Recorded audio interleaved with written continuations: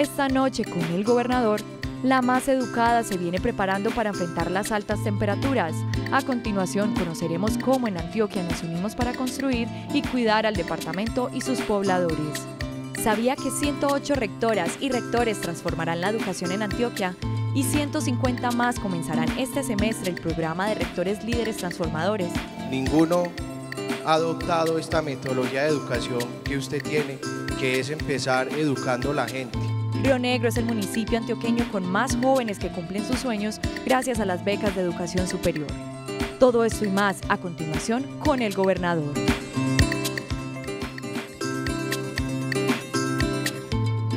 La innovación, la ciencia y la tecnología se reúnen aquí, en el Parque Explora, en la zona conocida como el Nuevo Norte de la ciudad.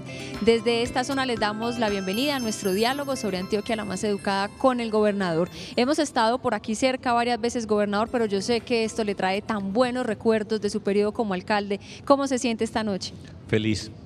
Pero le voy a contar cómo me siento. Realmente hoy he estado muy feliz en muchos sentidos. Pero también hoy tengo una cosita por dentro todo el día, porque hace dos años se murió mi papá y tengo la memoria de él, el recuerdo de él, me desperté muy temprano pensando en él y lo he pensado todo el día, entonces me ha acompañado todo el día, yo he estado contento en las cosas que hemos hecho, pero aprovecho para saludar a mi mamá, que también sé que para ella ha sido un día bien duro, pero bueno, ya que me preguntó, yo le conté. Pues yo no quería que me contara eso, pero... Pero es parte de la vida. Esa es la vida y, y, aprovechamos entonces para el saludo a su mamá, que sí es fiel televidente, cada semana nos está acompañando. Gobernador, esta zona es hermosa. De los orgullos que usted puede sentir como alcalde, el nuevo norte de Medellín. Este es un sitio muy especial y este trabajo que hicimos en todo este sector, en todo Medellín, pero, pero tiene un contenido muy particular porque la ciudad se partía hasta Barranquilla, que es la entrada de la Universidad de Antioquia dos cuadras más allá, estoy señalando de norte a sur, aquí queda Carabobo, donde ya hemos estado, pero era otra ciudad y nosotros la conectamos y la conectamos a mi modo de ver de una manera extraordinaria. Y este Parque Explora es un sitio particularmente extraordinario de la ciudad. Todas las personas que vienen a Medellín deben pasar por acá y pasan por acá. Sitio para la ciencia, para la innovación, para está el acuario, para encontrarse, está al lado de la estación del metro. Es un sitio muy lindo y para mí es un orgullo muy grande cuando yo lo miro y yo en alguna oportunidad lo he dicho, pero no sobra repetir. Yo espero que cuando esté un poquito más viejo, poderme venir a caminar por acá, sentarme por acá en una banca, ir al jardín botánico, ir al Centro de Cultura de Moravia, llegar hasta Pedronel Gómez, visitar y caminar por todos estos lados con toda la tranquilidad, recordando todo este tipo de cosas y poderle contar a, a, mis nietos, nietas, si algún día tengo, y les contarles, mire cómo hicimos nosotros todo esto. Gobernador, le dejaban dos preguntas desde Teleantioquia Noticias. La primera tenía que ver con su opinión frente a esa propuesta del presidente Juan Manuel Santos de extender el periodo de alcaldes y gobernadores. Yo creo que esa pregunta yo tengo una respuesta, porque yo, es un tema que yo he pensado y que muchas veces se ha ventilado. Lo primero, yo creo que tiene sentido pensar en una extensión del periodo de alcaldes y gobernadores y presidente a cinco años, sin reelección. Daría un poquito más de alivio para las cosas que tenemos que hacer los gobernantes y sería una buena iniciativa. En segundo lugar, no estoy de acuerdo, y eso pues es impopular, pero yo no estoy de acuerdo que quienes estamos en este momento en el ejercicio del poder continuemos por más tiempo o haya una reelección por dos años o se amplíe el periodo. A nosotros nos eligieron por cuatro años y por cuatro años tenemos que responder y estamos trabajando para terminar en cuatro años. No me gusta y el mismo presidente Santos lo dijo porque cuando anunció en el discurso del 20 de julio del Congreso de la República que iba a proponer esa reforma pero que para él no le aplicaría el sentido de tener un periodo de cinco años? Pues yo creo, y tengo muchos amigos que, que, creen y quieren eso, pero yo no estoy de acuerdo en que nosotros estando en el poder se nos amplíe a nosotros el periodo, porque nosotros fuimos elegidos para cuatro años, para los que vienen, que tengan esa oportunidad si se va a hacer algún tipo de ajuste. Y otra cosa que se ha planteado dentro de todo esto es hacer todas las elecciones juntas, todos el mismo día. No estoy de acuerdo No estoy de acuerdo por muchas razones. Voy a dar una filosófica y es las elecciones para presidente y Congreso de la República son de una naturaleza muy distinta. Para escoger alcaldes, gobernadores, concejales, diputados es de otro tipo. Son elecciones locales y las otras son de otra, de otra naturaleza. No estoy de acuerdo en que las hagan juntas. Mi amigo el ministro de Hacienda dice que es que se ahorra una cantidad de recursos. En este tema no hay que ahorrar. Y le voy a decir otra razón ya más profana, pero, pero, pero muy válida Usted sabe la cantidad de plata que se mueve en las elecciones. Si en Colombia no hay una verdadera reforma política y reforma electoral, pondrían toda la plata para las mismas elecciones y se comprarían muchas de todas las elecciones en forma simultánea.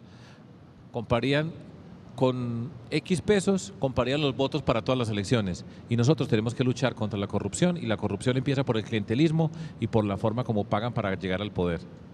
Entonces no estoy de acuerdo con eso. Y le dejaban una segunda pregunta.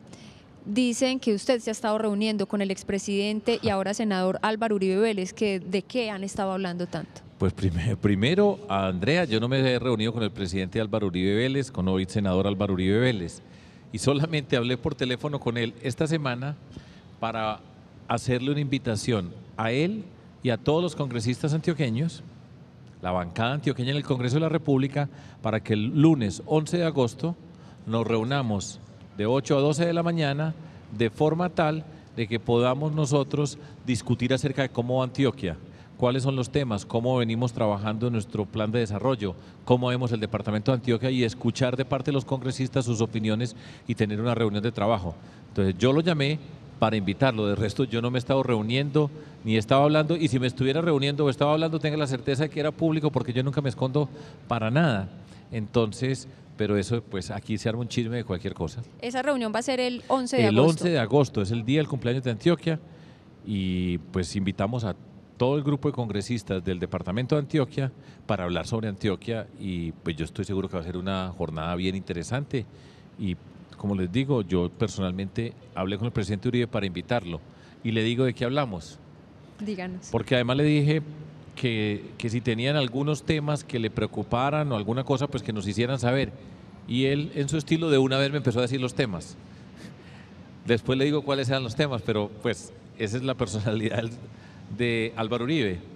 Solamente le dije que si tenía alguna inquietud, algún tema que le causara, pues eh, que tuviera preocupación, inmediatamente me dijo, me dijo el orden público, siempre le preocupa el orden público, y después me dijo que él estaba muy preocupado por la venta de Isagen y me empezó a hablar. Ahí estaba pintado el presidente Uribe. Pues el lunes 11 de agosto va a ser esa reunión con los congresistas antioqueños, contándoles cómo va Antioquia la más educada y por supuesto, como usted dice, todo eso es público, se le estará contando a los medios de comunicación. También invitamos a la Asamblea Departamental para que nos acompañara, o sea que va a ser una buena jornada de trabajo y de todas formas, pues el grupo de congresistas que representan al Departamento de Antioquia, pues tienen, pues es un grupo de personas muy especiales de nuestro departamento que tiene una responsabilidad grande y pues a mí me gusta eso de conversar, discrepar, discutir, pero bueno, nosotros sabemos construir. Gobernador, desde, desde que comenzó Antioquia la más educada hemos estado hablando de la gestión del riesgo. Hemos hecho caravanas, foros, capacitaciones, los defensores del agua, muchas actividades. Pero por estos días el tema climático ha cobrado una real importancia. En los medios de comunicación se dedica un gran tiempo a hablar de, de esa situación. Aquí en Medellín, en el departamento de Antioquia, tenemos algunos casos de calor intenso, algunos de vendavales como en Urabá vale la pena hablar aquí en el programa de qué es lo que está pasando y de cómo está preparado el departamento. Claro que sí, y estamos en una circunstancia pues donde nosotros vemos en los medios de comunicación, leemos, oímos que por ejemplo en La Guajira hay una sequía extraordinaria, no sé cuántos días sin una gota de lluvia, el agua escasea en una, una serie de lugares de nuestro país. Es, le voy a contar otra cosa, la semana que vino el señor presidente Santos acá a Medellín, que después fuimos a Santa Fe de Antioquia para revisar el tema de las autopistas de la prosperidad, nos fuimos hablando. Y yo le pregunté, presidente, ¿a usted qué es lo que más le preocupa hoy? Y me dijo el fenómeno del niño, un eventual fenómeno del niño y la sequía. Y me decía esta explicación, a él le tocó, cuando llegó a la presidencia, le tocó el fenómeno de la niña, que fueron unas tremendas inundaciones. Y ahora que inicia su segundo mandato, estamos pues con una sequía en unas partes del país y hay una posibilidad, no necesariamente que vaya a ocurrir, pero hay una posibilidad alta de que tengamos un fenómeno del niño. Y él me decía, con la niña, por ejemplo, si usted tiene ganado, lo puede mover, pero si tiene una condición de sequía y ese verano se mueren los animales y se destruyen muchas cosas. Entonces, el país viene hablando en muchas partes y eso genera inquietud en todos lados. Nosotros llevamos, ajustamos 12 días sin llover acá en el área metropolitana, después volvió a llover un fuerte aguacero, pero bueno, yo he aprendido mucho del tema, pero aquí tenemos dos personas pues que saben mucho más que yo, que tienen la responsabilidad de conducir el trabajo que hacemos en todo lo que tiene que ver con la atención de emergencias. Pero lo que estamos viendo ahora, y ahí termino yo para darle el paso a Luz Ángela y a César, Luz Ángela, la secretaria del Medio Ambiente, y César, el director del DAPAR, pues nosotros hemos venido trabajando desde, hace dos años y medio en construir una verdadera estructura de prevención y atención. Y nosotros sabemos hacer bastante bien, o sabíamos hacer, y tenemos una experiencia de atención, y compusimos o integramos todo el tema de prevención, y yo creo que modestia aparte, hemos hecho, pues yo digo hemos, pero pues es César quien encabeza todo ese trabajo, algo extraordinario. Y ustedes, pues tenemos unos riesgos acá que ya los vamos a explicar, pero ustedes no ven Antioquia en este momento como un sitio neurálgico eh, por las condiciones de lo que está ocurriendo en términos del clima y tengan la certeza, y con esto termino, que nosotros en Antioquia, y hoy tuvimos una reunión extraordinaria con todas las instituciones que tienen que ver con la atención de desastres, prevención, etcétera. Nosotros en Antioquia estamos, estamos preparados desde la prevención y la capacidad para reaccionar ante un eventual fenómeno del niño o la sequía que se incremente y los problemas que tenemos. Entonces, si quiere, pregúntele usted a, bueno, como ya decía el gobernador, están con nosotros Luz Ángela Peña, secretaria de Medio Ambiente, y César Hernández, director del DAPART. Esta tarde, ya lo mencionaba el gobernador, hubo una reunión muy importante de diferentes entidades tanto de la gobernación como de afuera, el área metropolitana, Corantioquia, Corpuraba, algunos alcaldes. ¿Qué fue lo que se concluyó en esa reunión tan importante que pasó hace apenas unas horas en la gobernación? Muy buenas noches, gobernador. Tatiana, un gusto estar acá.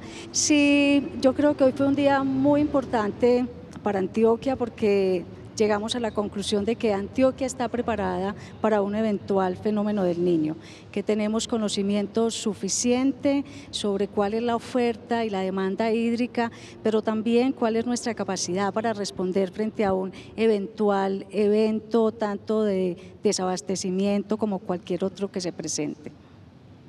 Bueno, gobernador, buenas noches. Tatiana. Noches, César. Eh, yo creo que la reunión de hoy fue la consolidación de un ejercicio de confianza que hemos construido y que llevamos dos años y medio con él.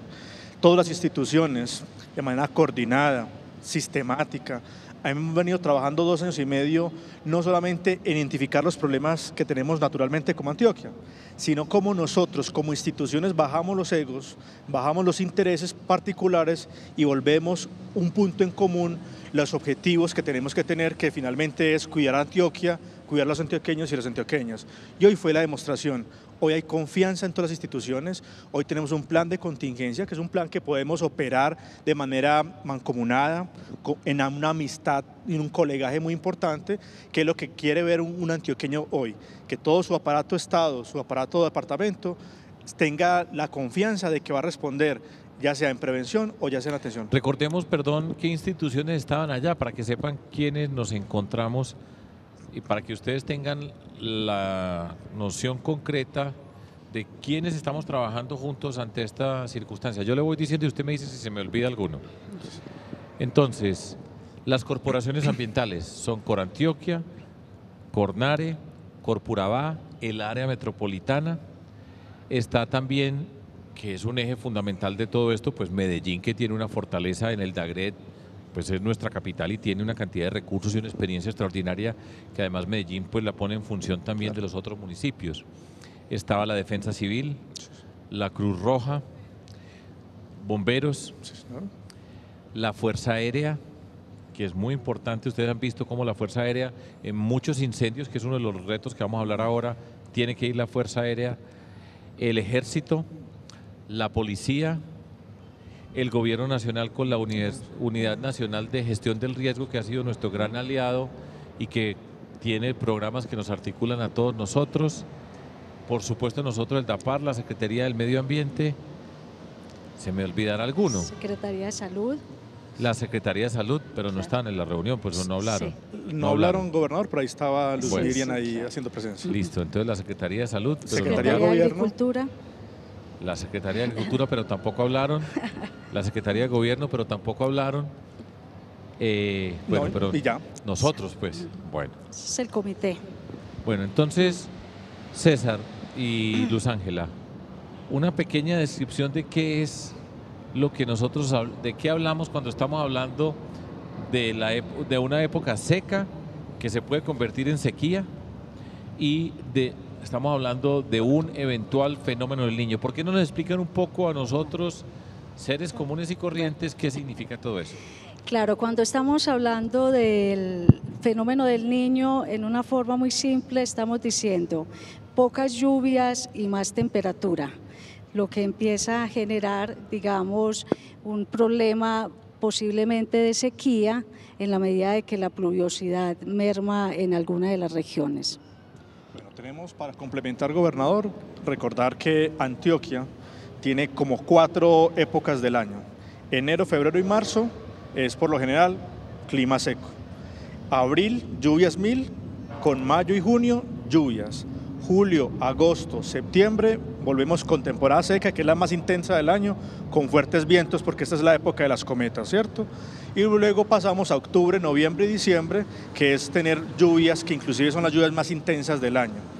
En esos cuatro periodos del año, lo que se genera, inclusive en el que estamos actual, que es el del periodo de julio, agosto, septiembre, que deberíamos de estar en, en temporada seca, pues estamos con una Antioquia como dividida en dos por unos lados, siete regiones tienen temporada seca y en dos regiones como, como Urabá y Bajo Cauca estamos enfrentando vendavales con fuertes vientos y fuertes lluvias que todavía se demorarán alrededor de unas dos semanas en tener este comportamiento del departamento. Bueno, entonces yo lo que quiero es que vamos haciendo, identificando, bueno, ahí veo un mapa bien jalado, pero yo no sé si, si este mapa nos sirva para que para poder explicar. Está, está difícil, pero a ver, si ¿usted es capaz de explicar de ese mapa? En este momento, todas las personas que están viendo Teleantioquia lo tienen en sus pantallas. Rápidamente, ¿qué significa ese mapa lleno de colores? Bueno, gobernador, ahí tenemos cuatro colores.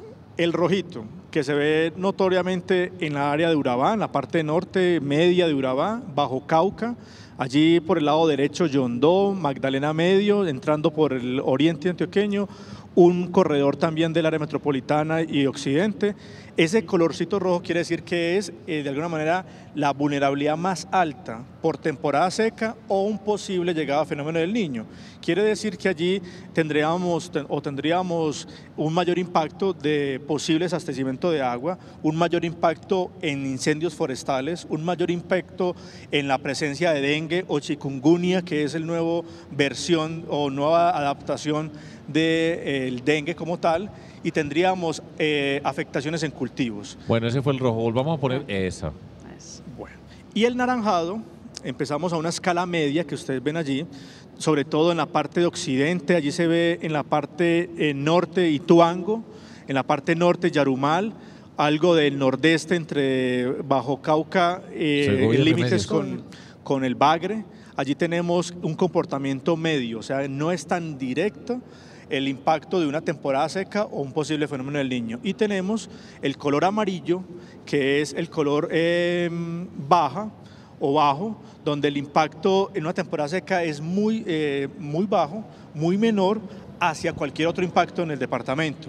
Esta clasificación es con base en toda una información recogida de todas las corporaciones autónomas regionales, de todas las secretarías al interior de la gobernación para poder clasificar al departamento y con base en este mapa por establecer estrategias de acompañamiento. ¿Sabe una cosa, César? Se nos olvidó, fíjese que también a ustedes se les olvida, una institución que participó en la reunión, EPM. Ah, sí, señor. Se nos olvidó nada más ni nada menos que EPM por muchas razones, por la importancia que tiene, pero por una en particular EPM, hoy Juan David Echeverri nos dijo, nosotros en el departamento de Antioquia tenemos la capacidad de decir que EPM puede generar energía sin ningún tipo de problema y garantizar el consumo de agua sin ningún tipo de problema, incluso llegando a la eventualidad del fenómeno del niño.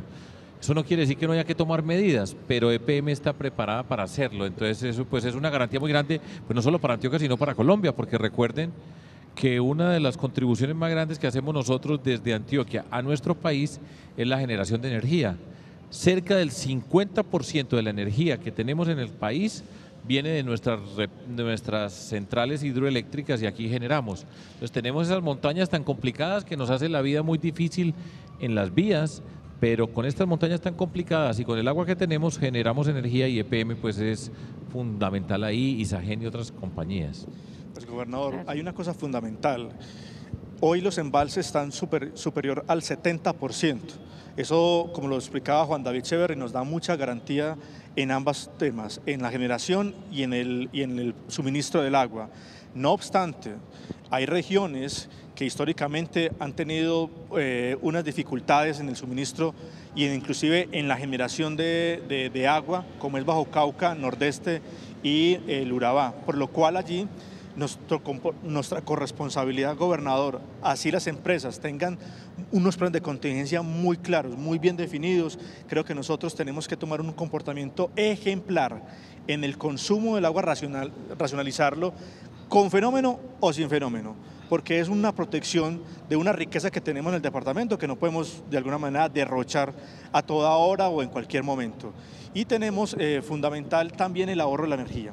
Tenemos que generar también parte de nuestra conciencia, los bombillos, no tener toda la casa iluminada durante toda la noche, cambiar los bombillos por bombillos ahorradores, en fin, para poder que la generación de energía no sea tan demandante, sobre todo ahora que tenemos tanto calor, pues tendremos que activar mucho más los aires acondicionados, los ventiladores, etcétera, y tenemos que generar también un ahorro fundamental allí.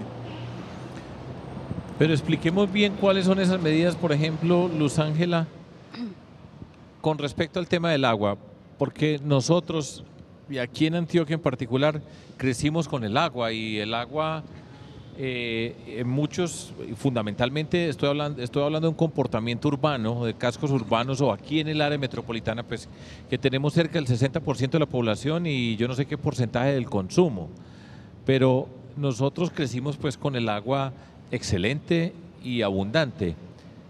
¿Qué tipo de comportamiento tenemos que tener para empezar a hacer conciencia del cuidado del agua, de eso que se llama consumo racional? ¿Qué tipo de cosas tenemos que hacer? Sí, gobernador, es muy importante que la ciudadanía y los antioqueños y antioqueñas entendamos que el comportamiento, digamos, frente al consumo debe ser una cultura, digamos, cotidiana. Sin embargo, este es un país de consumo, es decir, un país que es ahorrador en comparación con otras ciudades del mundo. ¿De verdad? Sí, con, en relación con Nueva York o con Buenos Aires, nosotros tenemos un consumo más racional, pero eso también tiene una explicación y es porque este tema hace muchos años se viene trabajando también desde todo el sistema ambiental, las corporaciones han hecho un trabajo muy importante frente a lo que es la cultura del agua, que se desprende de lo que es la política nacional de la gestión del recurso hídrico. Digamos que la educación acá ha tenido un papel muy importante y es cómo empezamos a ser unos consumidores responsables, sobre todo el agua, en la medida de que podemos, digamos, racionalizar nuestro uso. Pero bueno, dígame, tres mm. cosas que debería hacer cada persona en el departamento de Antioquia para ahorrar agua. Bueno, para ahorrar agua, gobernador, pues eh, lo hemos dicho, hay unos consumos muy suntuarios que tiene que ver con el tema de las lavadas de los carros, entonces, ¿cómo somos capaces de generar ahí unos ahorros? No lave el carro. Lave el carro también con cuidado, es decir, lo que pasa es que hay unos excesos muy fuertes. Otro es el tema de la cotidianidad de los hogares, en el tema de, digamos, las los grifos, que casi siempre por nuestra abundancia son a todo abiertos, entonces un consejo es cierre la canilla mientras está haciendo algunas labores, digamos, en la cocina. Asuntos, gobernador, de la cotidianidad. El tema también, pues no dejar las duchas abiertas mientras uno se está bañando, es decir, cositas pequeñas que van sumando y se convierten en ahorros importantes para el departamento. Le falta una, gobernador que es muy importante. Revisión de fugas ah. y mantenimiento de todas esas goteras que tengamos en el sanitario, que por lo general esta llave de abajo siempre está gotereando y no le paramos bolas y, y suena todo el día el sanitario chorreando allí e, esa gotica de agua. En fin, revisemos todas las fugas que tengamos en nuestra casa porque es parte fundamental también del desperdicio que se genera y que, y que ese comportamiento de reparar las fugas pues nos ahorra más agua todavía. Y hay una muy importante que ya la dijo César y es ahorremos energía, porque el 65% de la energía en Antioquia se produce desde el agua. Entonces, menos presión de energía, mejores niveles de nuestros embalses y mejor, digamos, eh, posibilidad de tener agua en Antioquia. Miren la imagen tan bonita que estamos viendo en este momento. Estamos en Explora y esa imagen es del acuario de Explora. Estamos despertando los peces, pero eh, pues es lindísima yo recuerdo que cuando, cuando construimos, perdón, porque tiene que ver con el agua, tiene que ver con la naturaleza. Eh, cuando construimos este acuario acá, Rafael Aubad, que fue gerente de este proyecto, me dijo, nosotros tenemos que tener en el acuario una actividad adicional que sea un espacio turístico novedoso desde Medellín, eh, perdón, en Explora. Y me dijo, hagamos un acuario. Le un acuario nosotros en Medellín un acuario. Pues ahí está el acuario y es lindísimo, muy bien jalado. Después en otra oportunidad les cuento todas las anécdotas para construir un acuario aquí en Medellín, pero es testimonio de eso, pues sí está, tiene que ver con el agua. Otro de los fenómenos que, que nos ocurre muy a menudo, que es dramático, son los incendios forestales. ¿Cómo hacemos para evitar los incendios forestales? Gobernador, miren, el incendio forestal inclusive es uno de los eventos más complicados de atender, porque se expande rápidamente, porque atenderlo desgasta mucho a una persona. Le doy un dato, gobernador, una persona que entra a atender un incendio forestal tiene que atenderlo máximo dos horas, porque el cuerpo también se deshidrata porque esa persona, ese bombero que entra a atender, entra en unas condiciones extremas de calor que inclusive eh, el agotamiento es muy prematuro. Entonces esas condiciones son muy complejas para todos los cuerpos operativos y por eso es que es indudable que cada persona debe tener una corresponsabilidad. Uno, en esta época, ni por el diablo, ni por el barraco, generar quemas de basuras, de esa, eh, del corte del pasto, cuando estamos en nuestra finca, cortamos el pasto, lo llevamos, hacemos el, morrito y le echamos candela, ni por el diablo a generar una quema de esa naturaleza. Y los que estamos en temas eh, rurales, que por lo general esta época es para cambio de cultivo o para preparar algún cultivo, tampoco eh, se queda de alguna manera prohibido las quemas para cambio de cultivo. Algo adicional, gobernador, que es fundamental por esta época también es mucha zona de áreas de veraneo, de recreación, de salir a tomarse un, plan de, de, olla, por ejemplo, y dejamos siempre el papel, el aluminio, el vidrio, y nos da pereza volver a empacarlo en la bolsita, llevarlo para la casa, como que alguien nos lo va a recoger y nadie nos lo va a recoger porque en esta zona no tenemos eh, personas en ninguna área forestal y es la corresponsabilidad. Ese papel gobernador que dejamos allí es el que posiblemente nos genera un incendio forestal. Y cuarto, desafortunadamente, hoy el 90%, este año se han atendido alrededor de mil incendios forestales, donde el área metropolitana y Medellín ha atendido solamente Medellín 590 incendios forestales. El 90% es de aquella persona que hizo todas esas actividades irresponsables de quema, que hizo la responsabilidad de generar, eh, dejar basura, y otros que les gusta ver arder la naturaleza, desafortunadamente, pues también llevar a esa vocación de que nosotros si vemos un comportamiento de esos, ahí mismo, inmediatamente, ir a policía, ir a bomberos para poder alertar y entrar Pero no solamente ver arder, pues que eso puede ser una desviación pues del comportamiento humano, pero hay unos que son de manera deliberada delincuentes que van a causar un daño y, y que le echan fuego pues a, una, a un pedazo de nuestros bosques. Entonces, tenemos que ser capaces de ahorrar agua, ya dieron ustedes las medidas. El tema de la prevención de incendios, ¿qué más tenemos que tener en la tema de prevención? Que cualquier persona que nos está viendo dice, yo, soy, yo tengo que tener esta conciencia. Repito, en el agua, que se plantee la pregunta. Yo, por ejemplo, a veces lavo los platos y todas estas cosas y habitualmente dejaba correr el agua todo el tiempo mientras estaba lavando. Además el agua es muy agradable de tocar.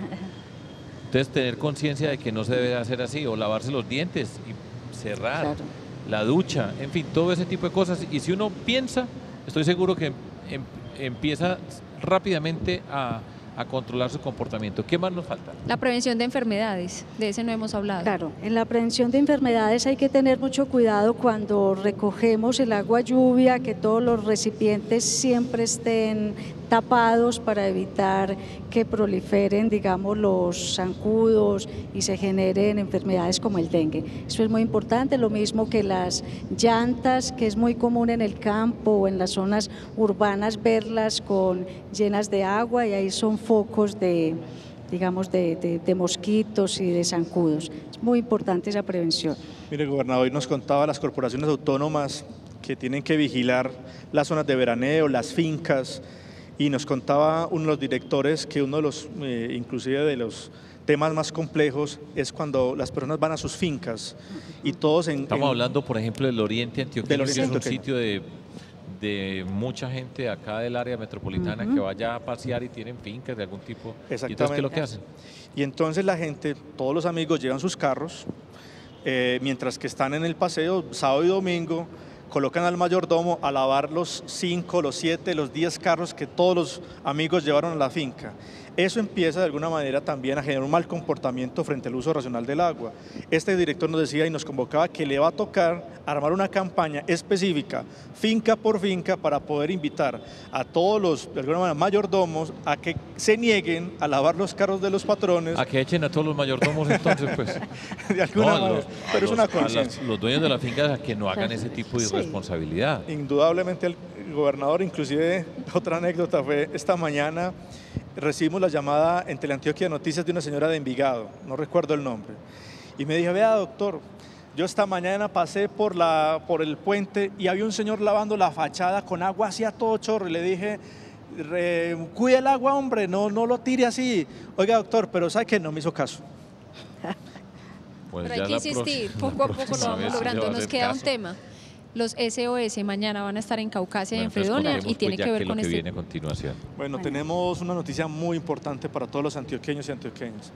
El señor gobernador hace dos años y medio nos colocó un reto importantísimo al DAPAR. Al DAPAR hay que volverlo todo un gestor, todo un gerenciamiento del riesgo en el departamento.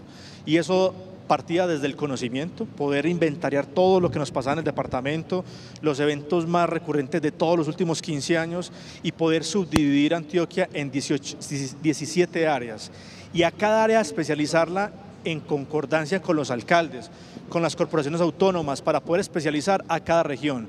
Y allí creamos, allí vimos una primera imagen del SOS de Caucasia. Este edificio o este centro están llegando por todo el departamento. 16, 16, van a ser en todo el departamento para administrar las emergencias, para tener en el primer piso dos aulas de capacitación virtual y presencial a todas las comunidades para que nos preparemos en cualquier tipo de evento. Y en el segundo piso, toda la parte de operaciones, toda la parte de comunicaciones, toda la parte de manejo de crisis en cualquier evento y una cosa fundamental, el fortalecimiento operativo y operacional a todos los cuerpos de bomberos, defensa civil, Cruz Roja, que vamos a estar juntos. A partir de cada una de estas llegadas de los SOS, que hoy son ocho los que están listos, pasamos a construir otros tres. Ahí vemos una otra imagen hermosa del de el SOS Cartama en Fredonia, que también vamos a estar mañana allí y donde hemos tenido una dinamización enorme, un, un compromiso los alcaldes, gobernador, que se han comprometido desde la prevención, desde la educación, a proteger y a cuidar a Antioquia. Y ese es el punto, pues que no nos pase el desastre, la calamidad, la tragedia e ir a atender a las personas que lo hacemos y lo haremos. Pero si tenemos una coordinación, si estamos bien estructurados como está pasando y tenemos estos espacios, van a ser lugares de formación, de mejor articulación y las comunidades se van a ir preparando. Por eso escogimos a dos sitios importantes de Antioquia. Caucasia mañana, el señor alcalde está comprometido con este tipo de desarrollo porque Caucasia tiene una amenaza permanente, el río Cauca, las inundaciones, es, los vendavales, los incendios forestales. Entonces Caucasia es un sitio neurálgico y va a tener este espacio que va a tener sin duda pues una gran implicación. Y Fredonia, que es en el suroeste nuestro, que tiene una condición en la montaña pues de que, que, tiene que tener cuidado y el alcalde igualmente está comprometido con todo este proyecto. ¿Qué más hay que decir, Luz Ángela? Gobernador, es muy importante también eh, comentar que empiezan las caravanas del riesgo y del agua. Vamos a estar en 25 de los municipios de mayor vulnerabilidad, generando conocimiento, educación, reflexión, atención. Este es el primer año que vamos a estar las caravanas del riesgo y del agua con nuestros defensores. Esto es un proyecto educativo que va a permitir dejar mucha capacidad en nuestras comunidades y mucho conocimiento de cómo irse adaptando adaptando a estos, eh, digamos, momentos difíciles de, de extremos del clima, que es lo que llamamos el fenómeno del niño. ¿Qué más hay que decir, César? Bueno, gobernador, yo creo que esta plataforma que dejamos con los SOS es una tarea inclusive que nos colocó Carlos Iván Márquez también desde la Unidad Nacional de Gestión del Riesgo. Antioquia quería verse como el modelo a nivel nacional, pionero en todo el manejo de gestión del riesgo, desde el gerenciamiento, incorporando la prevención, la atención y la recuperación de manera coordinada y sincronizada. Hoy ya tenemos este modelo eh, incorporado, trabajado mancomunadamente. Allí veíamos ahorita una, una red de todos los que son vigías del agua, por ejemplo.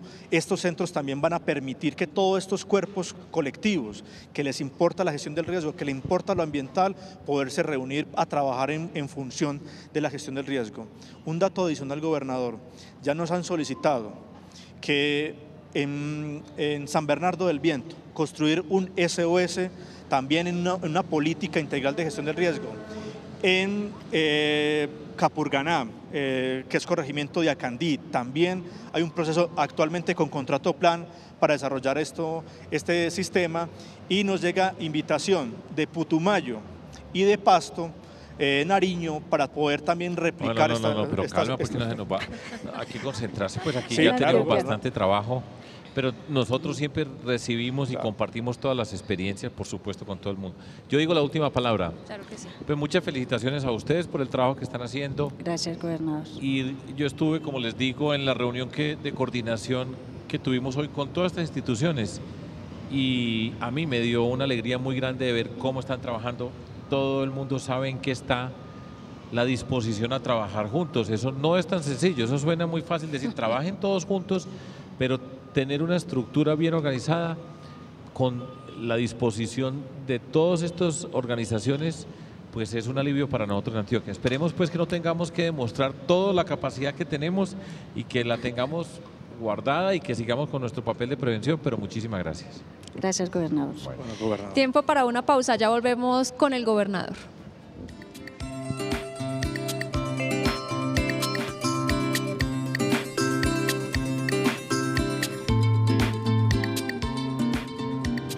Continuamos con el gobernador, ya hablamos un buen rato de la gestión del riesgo, pero nos quedan muchos temas, gobernador, entonces aprovechemos esos... Aceleremos, Tatiana, porque tenemos muchas cosas para decir. Empecemos entonces con lo que pasó el lunes, la graduación o de la entrega de ese certificado y ese reconocimiento a los rectores líderes transformadores. Tremendo. Eso fue en la Universidad de AFIT. En la Universidad de AFIT nosotros tenemos un programa que se llama Rectores Líderes Transformadores y lo hacemos en conjunto.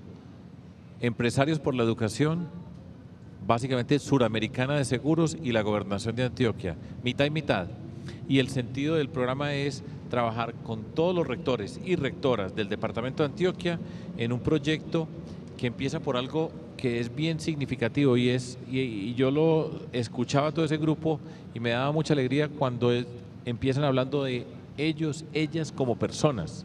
No estamos hablando todavía de organizar una empresa ni de mejorar las matemáticas, sino cada quien reconocerse como persona y entenderse como persona y sobre eso construir las habilidades que se necesitan porque son un grupo especial de líderes del departamento de Antioquia. Recuerden, el rector o la rectora es la persona que abre la puerta del colegio, por decir algo. Le da la bienvenida a la comunidad, que entrega a las familias, que entregan sus hijos, hijas, que después entran al colegio y adentro están las maestras y los maestros. Y el rector es quien tiene que tener esa capacidad para articularse con la comunidad, para gestionar lo que ocurre allá adentro y por eso necesitamos rectores y rectoras líderes. Es un programa extraordinario. 108. 108. 108 en esta primera corte en, ahora continuamos con otro grupo de rectores de nuestro departamento. 151 para la segunda parte. Es, todos pasan por eh, este proceso de formación y tengan la certeza de que un mejor rector, una mejor rectora va mejorando la calidad de la educación y somos un mejor, mucho más educados. Y le tengo un informe con los mejores momentos de ese evento. Este programa nos invita a nosotros a ser personas, a ser seres, a entender que la educación es un proceso de formación. Rectores, líderes transformadores impulsó una parte, una parte muy importante que fue el ser como tal. Como una oportunidad para crear, innovar, proponer y fortalecer el liderazgo, Antioquia la más educada certificó a 108 rectores líderes transformadores. Me ayudó mucho en el manejo de emociones, eh, la manera como resolver conflictos eh, en toda la comunidad educativa, con los docentes, con los alumnos. Es una oportunidad para transformar las comunidades en todos los aspectos. Primero nosotros como personas, los docentes, los estudiantes y los procesos de la institución. La primera generación de rectores líderes transformadores trabajará para elevar los niveles de educación en sus instituciones una oportunidad más para los protagonistas de la transformación de Antioquia, la más educada. Estaban reiterando lo que usted ya mencionaba y resaltaba. Ellos como personas primero. Y bien importante, y tiene todo el sentido. Si nosotros como personas no nos transformamos, pues va a ser muy difícil que transformemos la circunstancia en que vivimos.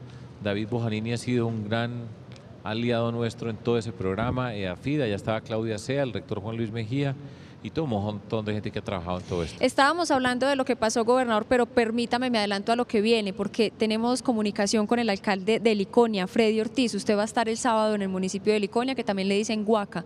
Tenemos comunicación con el alcalde. Alcalde, buenas noches. Buenas noches para todos, para el gobernador y para todos los televidentes. Alcalde, vamos para el Iconia a celebrar 200 años. El Iconia es un pueblo que queda muy cerquita del área metropolitana de Medellín, Itagüí, La Estrella. Un poquitico de historia acerca de Iconia, alcalde. ¿Qué tenemos que saber de Iconia? Cuéntenos usted mejor. Muy bien, gobernador, la tiene muy claro, usted conoce muy bien el municipio de Liconia.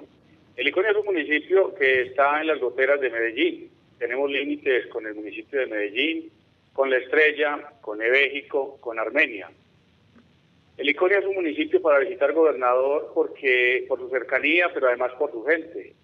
La gente del municipio de Liconia es una gente maravillosa. El clima es un clima muy, pero muy propicio para vacacionar, para visitar en, descanso, días de descanso.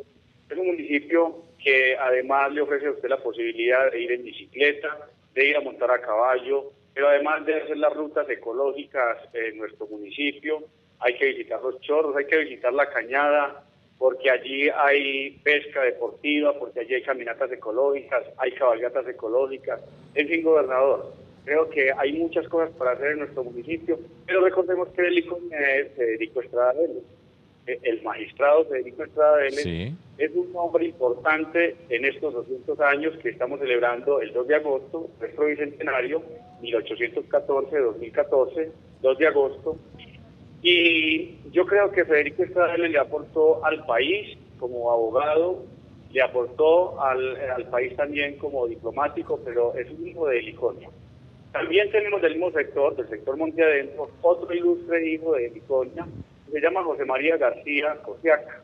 Él es un hombre Cosiaca, Cosiaca era de Heliconia claro que sí, gobernador. Es un hombre eh, que tiene nuestra cultura, eh, que cuenta con, sus grandes anécdotas, con sus vivencias, con todo lo que le ocurría a este hombre en lo cotidiano de, los caminos heliconenses de Huaca y que fue relatando historia tras historia y que hoy Antioquia, Colombia y eh, por fuera del país conocen de José María García. Allí también en el Iconia Gobernador estuvieron asentados los, eh, el cacique Arbí con su tribu. Los arbíes también son de Iconia Gobernador y fueron los que principalmente dieron origen antes de la colonización a nuestra Huaca querida. El Iconia también es, conocido como la tierra de la sal. Allí se explotaba la sal, gobernador, antes de Chipaquirá, antes de Manaure.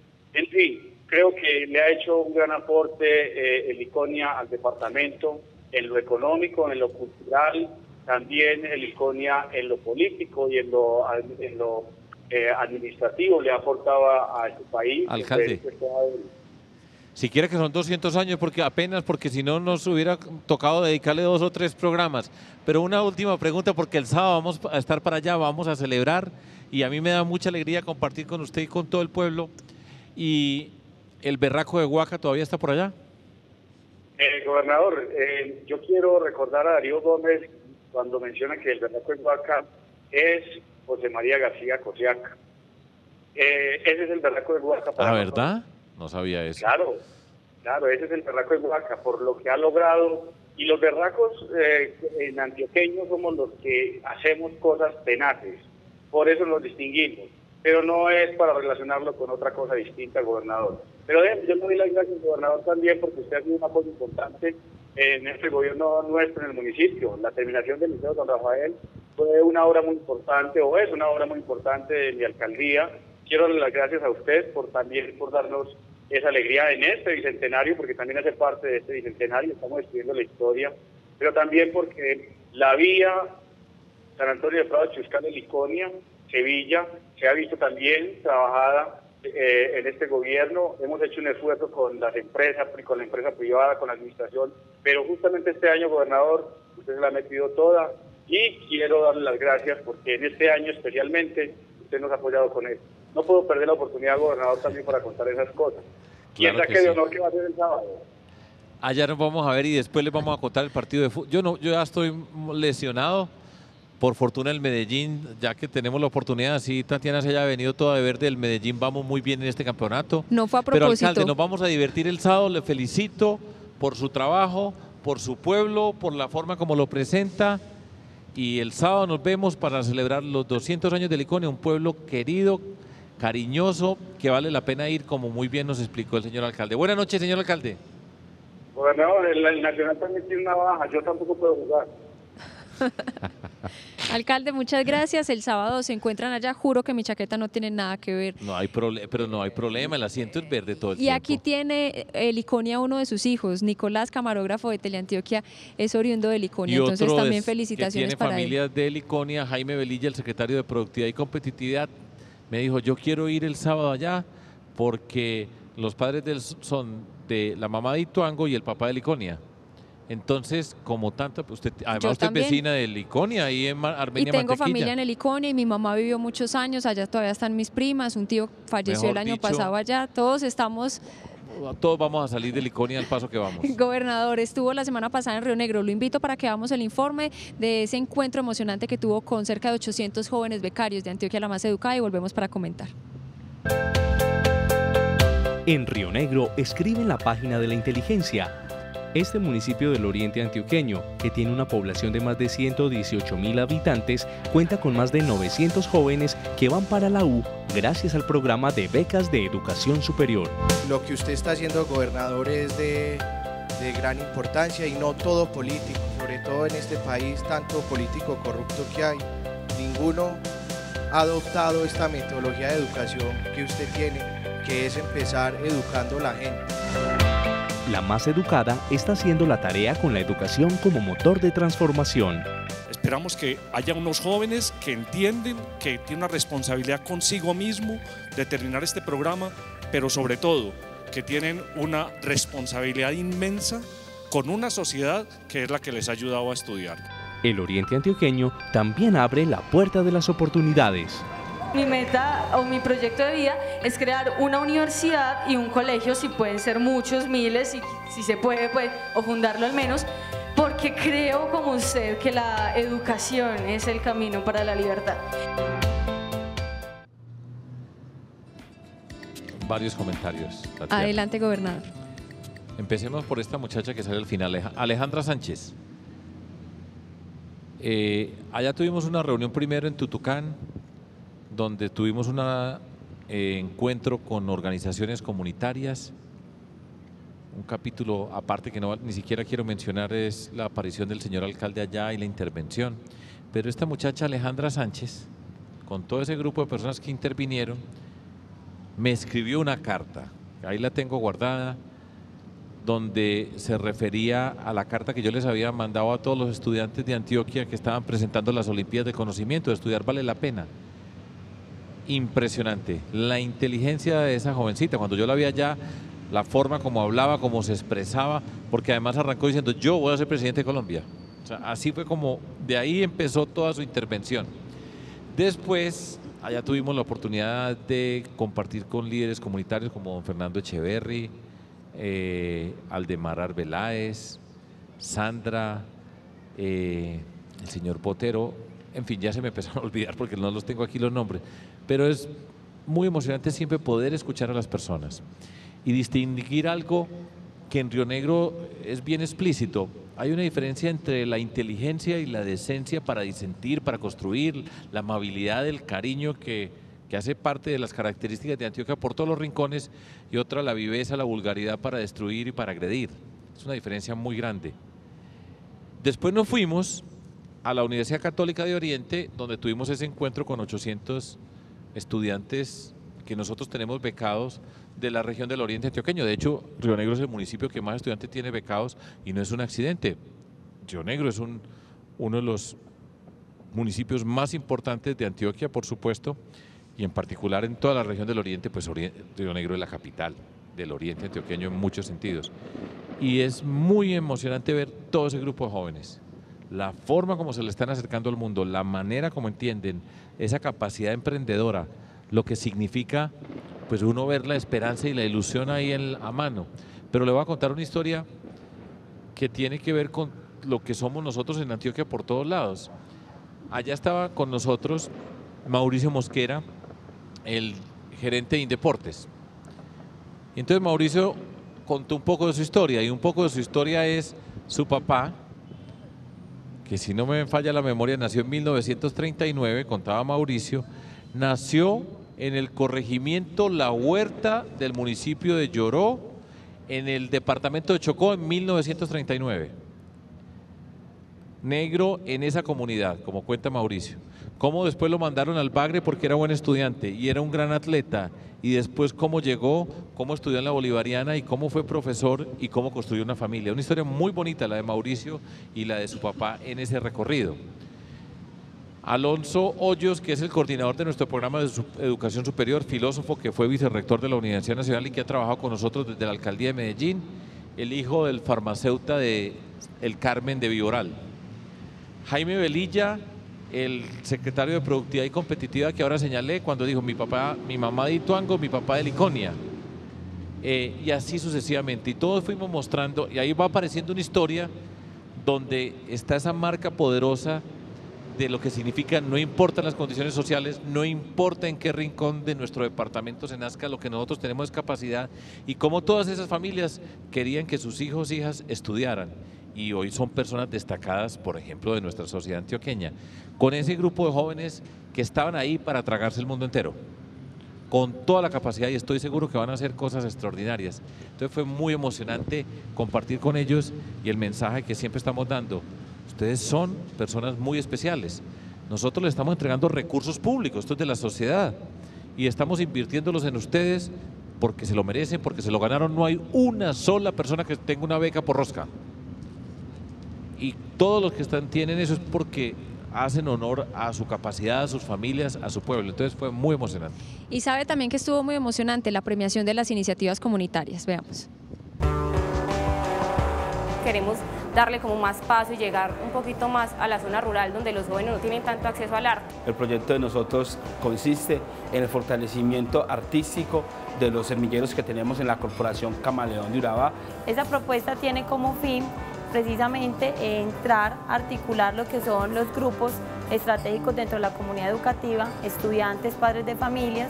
La sensación del deber cumplido llenó de alegría a los ganadores del concurso Iniciativas Comunitarias, quienes motivados y llenos de ilusiones presentaron sus propuestas de innovación social y sostenibilidad. Nosotros estamos muy contentos con, que el premio haya quedado en Titiribí y no solo mostraron su felicidad por haber sido ganadores, también hubo quienes se sintieron como en casa en su visita a la ciudad.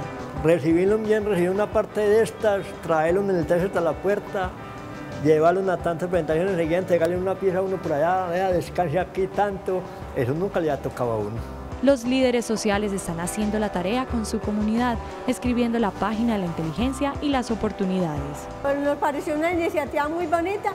Claro que es que las comunidades nos tenemos que pronunciar, no a pedir, sino a obligar que nos apoyen con estos proyectos tan lindos para educar. Bueno, y lo usted, conoció a don Julio, a doña Aura, estuvo con ellos ahora conversando. De llegar aquí estuvimos en la Casa de la Música, en el Parque Los Pies Descalzos, y de nuevo en el mismo espíritu de lo que nosotros hacemos. Esto fue una convocatoria, cinco líneas de, de la Secretaría de Participación Ciudadana y Desarrollo Social con otras secretarías interactuando, y todas esas organizaciones que se lo ganaron, se lo ganaron porque se lo merecen. No es el cambio politiquero tranquilo que yo le voy a dar a usted este pedacito, dar limosnas, pero usted después me va a llevar a esta gente para que vote, le ponen precio a los humildes. Cuando ese grupo cuando gestiona la política sabe que tiene una necesidad y entonces empieza a darle cosas a cambio, pues todas estas personas que están allá, todas estas organizaciones ganaron porque se lo ganaron, porque participaron, porque se organizaron.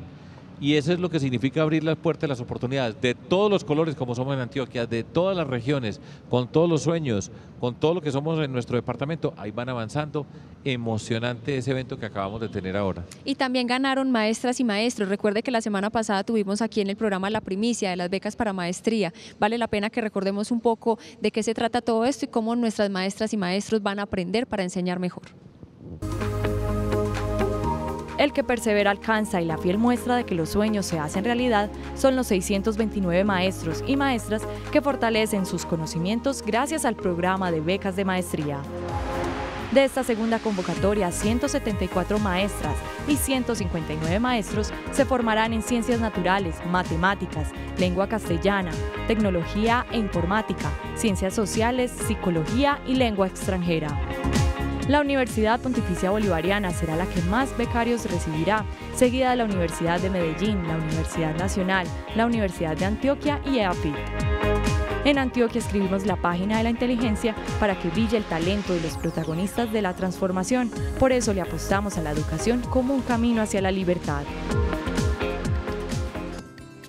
Gobernador, nos queda un minuto de programa todo suyo para que se despida de los televidentes. Pues hasta mañana. no. Aprovechen. Mañana vamos para Caucasia, para Fredonia. Vamos el sábado para Heliconia. La semana entrante no vamos a estar acá, porque el jueves 7 de agosto es festivo. Y pues vamos a, para disfrutar el festivo, inicia el nuevo periodo del presidente Santos.